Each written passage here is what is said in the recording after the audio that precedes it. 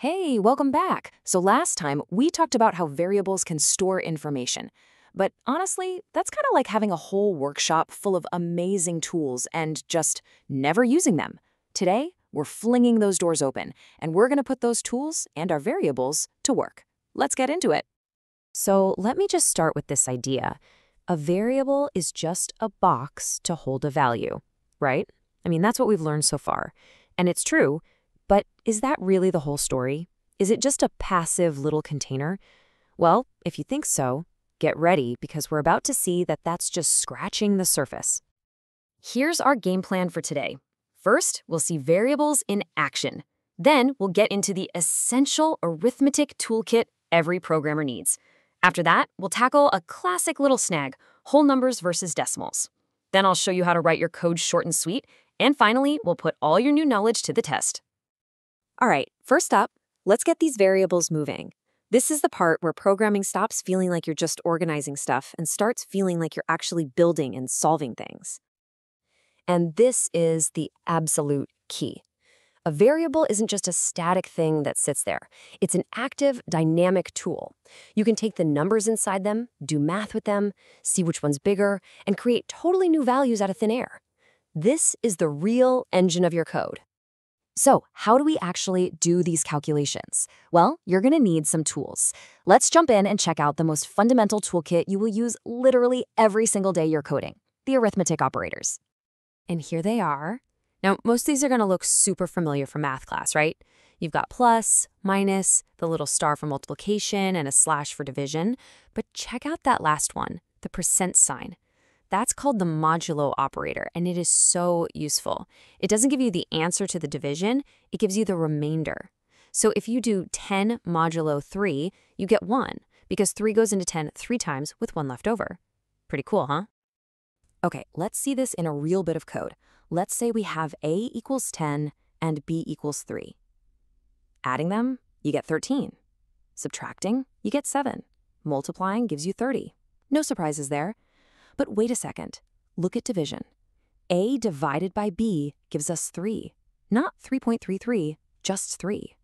And then modulo, A percent B, gives us that remainder of 1, just like we said. So what's going on with that division? Why a whole number? Well, that question leads us perfectly into our next section. All right, pay close attention here. This is one of those little details that can cause some serious confusion if you don't nail it down early. We're talking about the big difference between whole numbers, integers, and numbers with decimals. Let's make this super clear.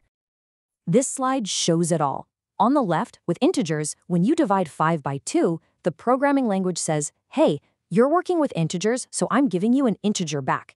It doesn't round the answer, it just chops off the decimal part completely. Poof! So 5 divided by 2 is just 2. But look at the right. If you want that precise answer, you've got to use decimal numbers. By writing 5.0 and 2.0, you're signaling that you want a decimal result, and you get the correct answer, 2.5. Okay, so you've got the basics of calculating down. Now let's talk about a pro move, how to write code that's more efficient and clean. You know, good programmers are lazy in a smart way. They don't want to type more than they need to. These shortcuts are a big part of that. So you're going to find yourself doing this all the time, taking a variable and adding something to it. The standard way is on the left, x equals x plus 1. It works, but it's a bit long. The shorthand way is much cleaner. x plus equals 1 does the exact same thing. And if you're just adding or subtracting 1, which is super common, you can use x plus plus, that's called increment, or x minus minus for decrement. You will see these two everywhere. All right, we've covered a lot. We've seen the operators, we've dodged the integer trap, and we've learned some pro shortcuts. So now it's time to put it all together. You ready for a little quiz? Okay, take a good look at this piece of code. We've got variable a is 5, variable b is 2, and then we create a result variable that's a times b plus 3. So what's the final value that gets stored in result? Take a second, think back to the order of operations from your school days. Let's break it down. Just like in math, your code has rules. And the rule is multiplication and division come before addition and subtraction. So the computer first does a times b. That's 5 times 2, which gives us 10. Then, and only then, does it do the addition. it takes that 10 and adds 3, which equals 13. And there you have it. The final result is 13. If you got that right, awesome job. It means you're already starting to think like a programmer, following the sequence of logic step by step. Now, to really make all this sink in, you gotta try it yourself. So here's a little challenge for you. On your own time, create two integer variables, one for 8 and one for 4. Then just run through all five of the operators we learned today. Actually, seeing the results pop up is the absolute best way to build that programming muscle memory. So think about where we are.